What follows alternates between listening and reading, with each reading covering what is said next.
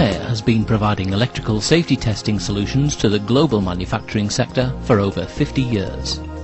From flash hipot testers to cord testers, cable and wiring testers to lighting and luminaire testers, Clare has been developing test solutions with its customers for its customers.